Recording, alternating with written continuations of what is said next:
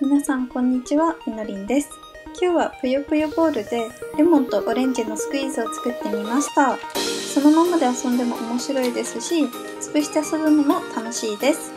あと冷やしたら冷却パックにもなるので一石二鳥かな？ので皆さんもぜひ作ってみてください。それでは早速始めてみましょう。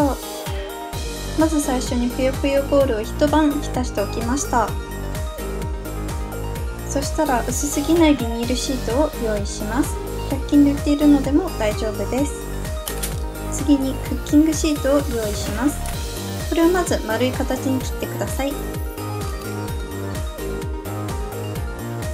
この丸いクッキングシートをビニールの間に挟みます。あと細長いクッキングシートも用意してこれも間に入れます。最後にクッキングシートをもう1枚上に乗せてアイロンで温めていきます。ビニールシートが溶けて1枚になります。丸に沿ってハサミで切っていって中の紙を取り出します。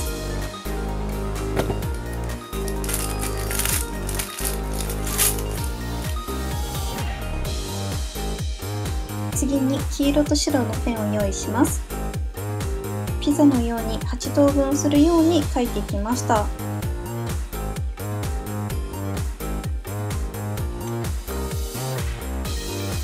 とは黄色いペンで周りを書いていきます。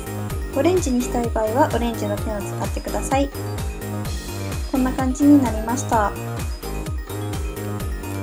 あとは中に黄色いぷよぷよボールを入れていきました。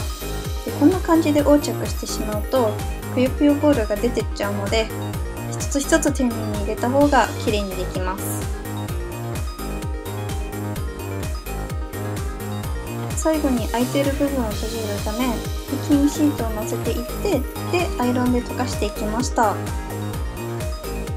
きちんと塞がるとこんな感じになります。皆さんいかがでしたか？是非冷却パックとしても使ってください。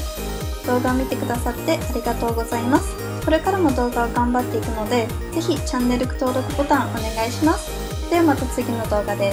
バイバーイ。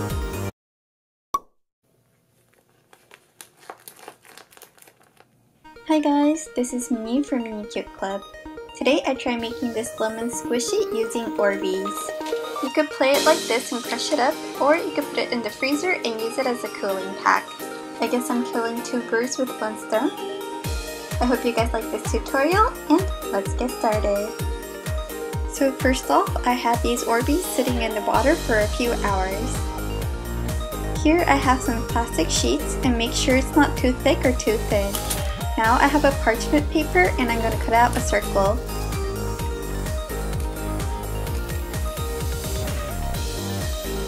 I'm going to put this circle paper in between the sheets. I'm also going to cut out a thin strip of parchment paper and put it between the sheets. I'm going to lay another parchment paper on top of the sheets and using an iron I'm going to melt it together. Once the sheets are melted together, cut around the circle and take out the parchment paper inside.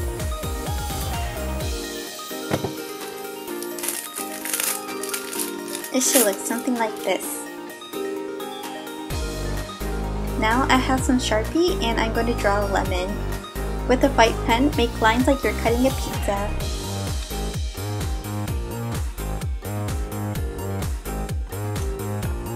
And draw a circle around using a yellow pen.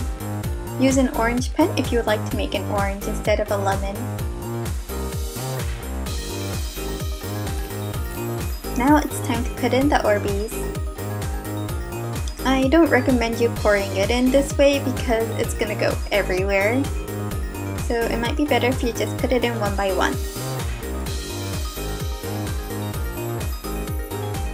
After there's enough Orbeez, I'm just gonna put more parchment paper on top and melt it together using an iron.